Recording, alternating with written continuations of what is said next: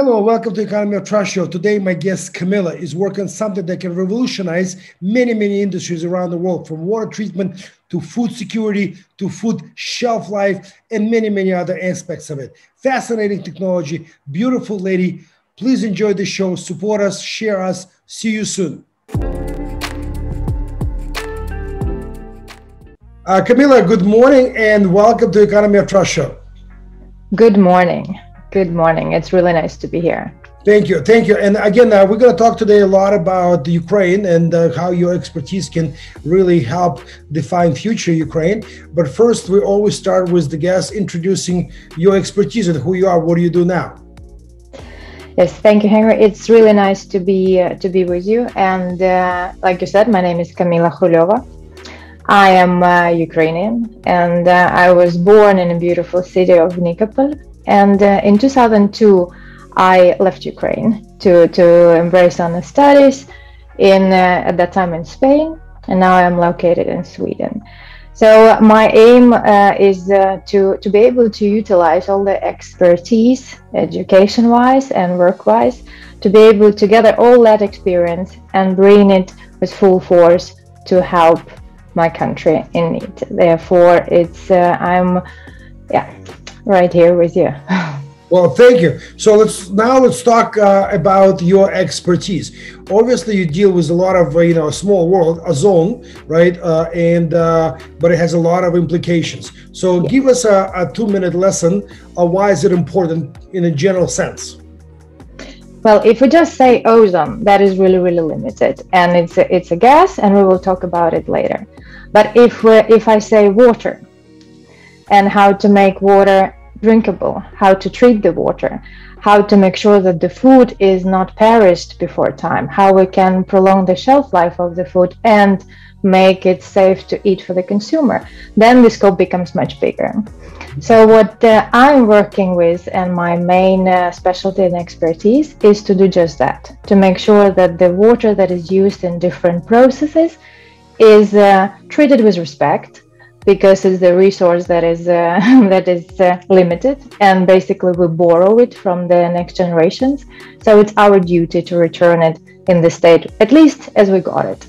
So our technology is based on a chemical free treatment of uh, any water that is involved in any process be it a big processing plant for food be it a fish farm with recirculated aquaculture or actually the water that we drink the main point is to make the water to be applicable for reuse so we can limit the, the waste that is going on right now with the water and to make sure that it's safe.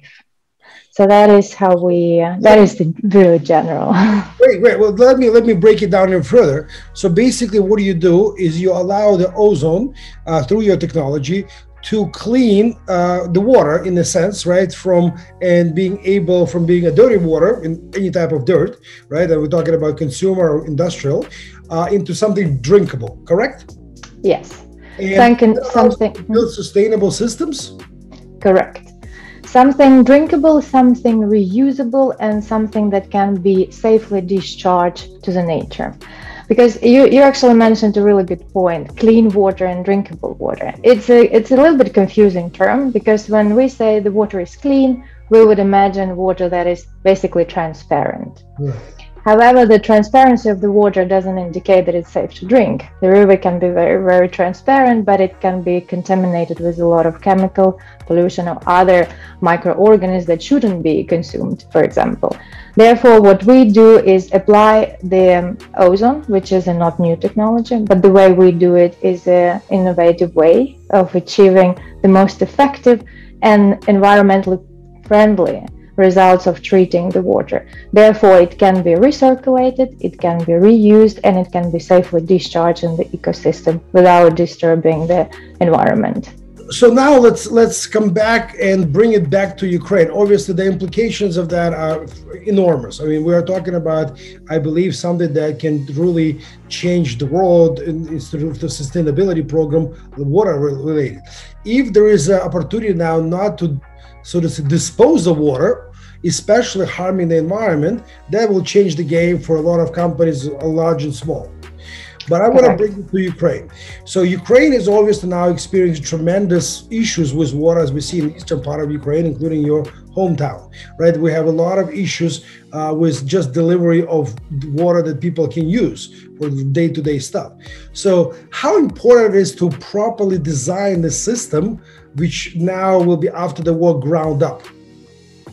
It is uh, it is crucial um, because, uh, like you mentioned, all the events that is happening, and uh, unfortunately, drinking water is uh, of uh, scarcity and a big scarcity.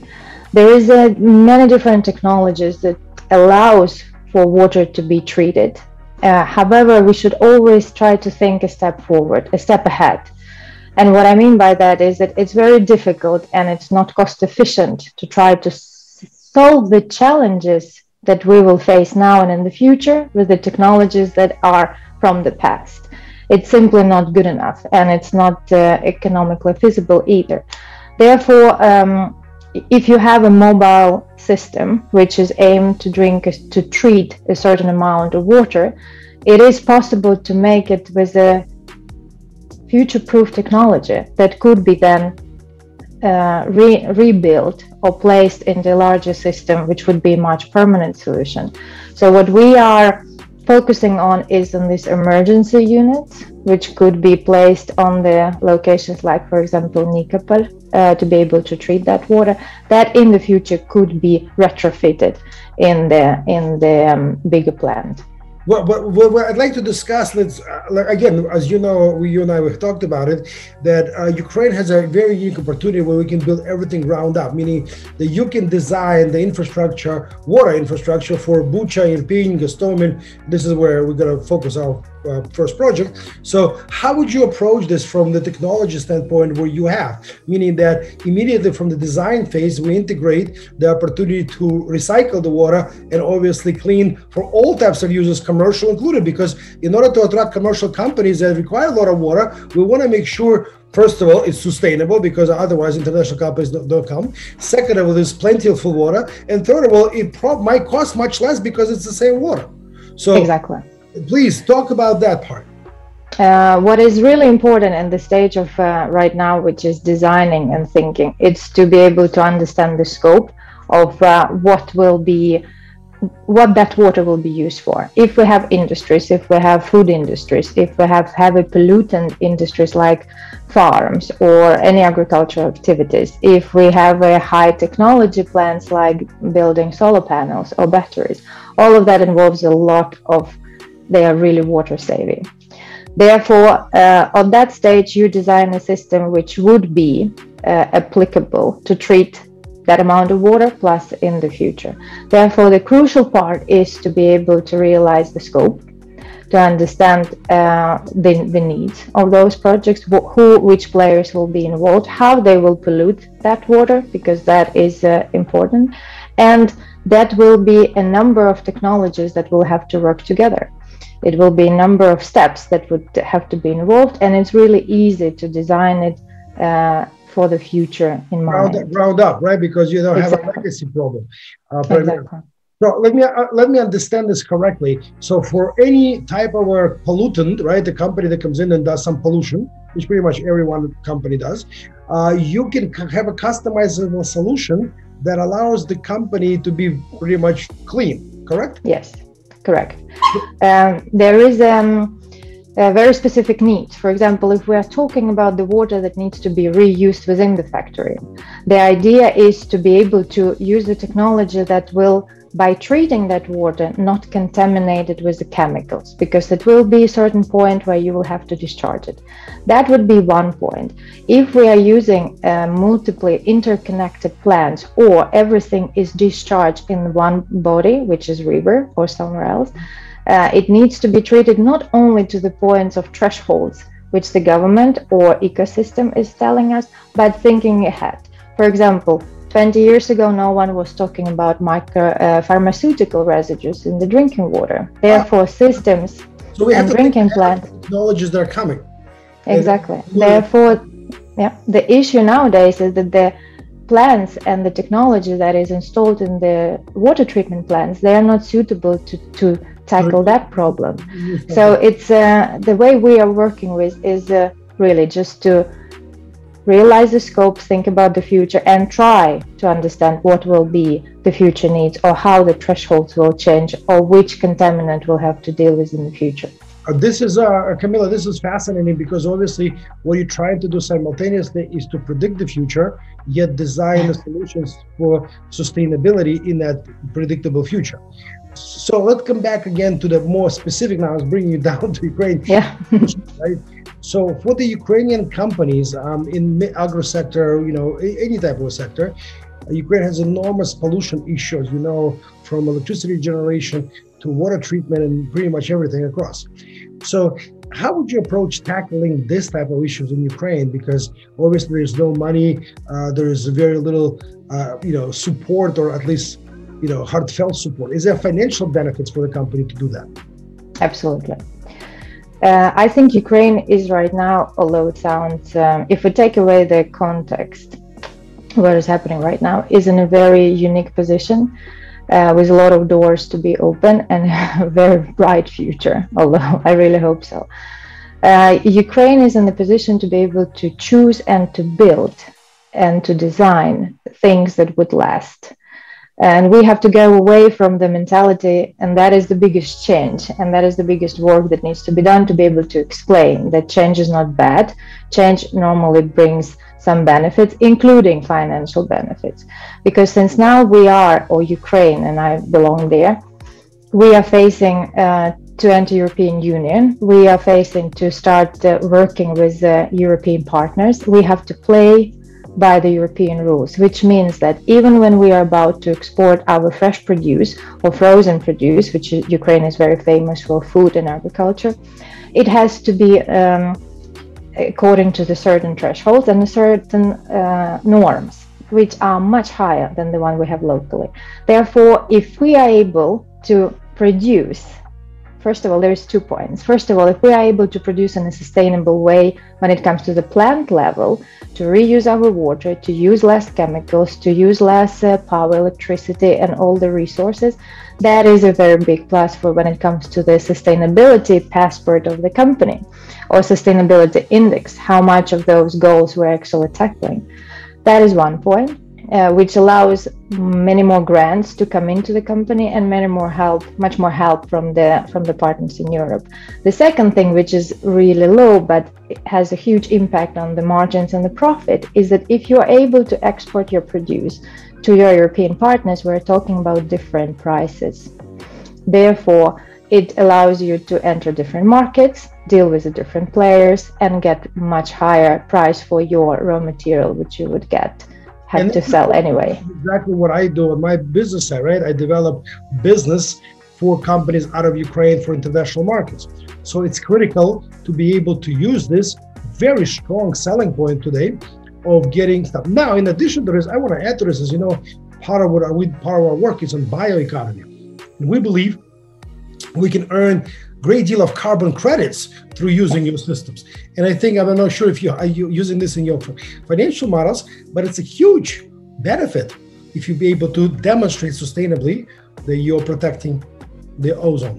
Absolutely, absolutely. It's uh, it's getting those points, it's getting those credits, and it's getting to have. Um, reputation of the companies that are modern, that are thinking ahead, and that can actually not only achieve those sustainability goals that everyone is talking about, but not so many are actually following. Now it's the point where it's not voluntarily that you need to follow the goals. And I mean by that, reduce the carbon footprint, reduce the water impact and water footprint, energy, etc.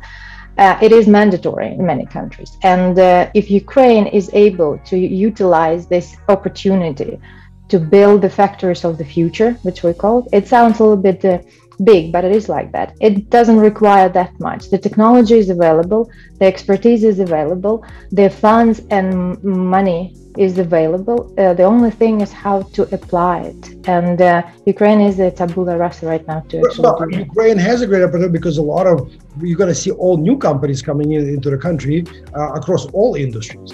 Uh, but beyond what you, what you just mentioned as well, I believe this uh, allows us now to, as you said earlier in the interview, extend the shelf life to the produce.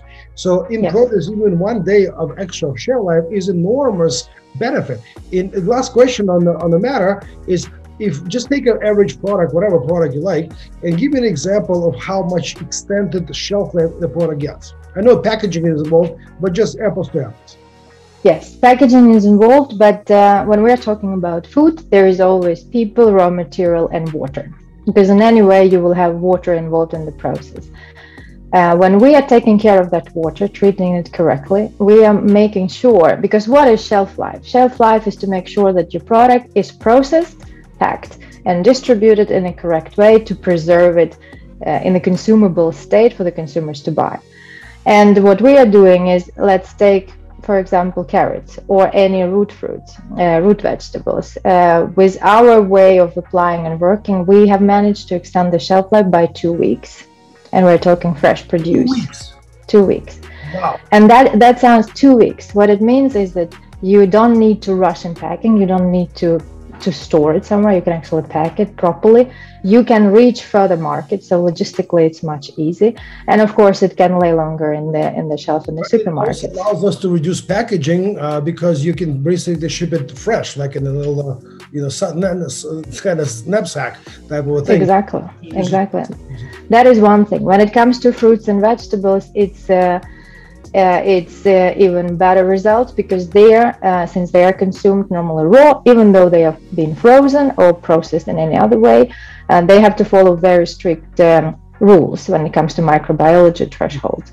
And uh, first of all, you can export it further. I mean, we're talking completely different markets, completely different prices.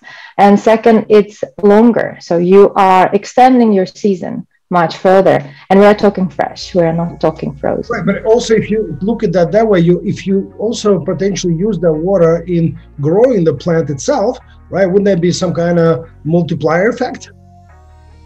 If we are yeah because when we're talking about food waste or extending shelf life we are normally focusing on the processing packaging and the supermarkets but there is many more steps that comes before. And if we are working smartly with the whole chain, starting from the growing, like you said, seeds, plants, how to irrigate it, how to which pesticides not to use, or if we use it, that we can remove it further in the process. Uh, it becomes a coherent approach, which actually makes it and multiplies the effect. Excellent. But that is uh, that is the yeah, that is the point. Yeah, but this is fascinating, and this is what I what I do because uh, every time I have an interview and I get to understand and learn about the person's business, it's absolutely fascinating to learn about what you've done and how how big of an impact it will be.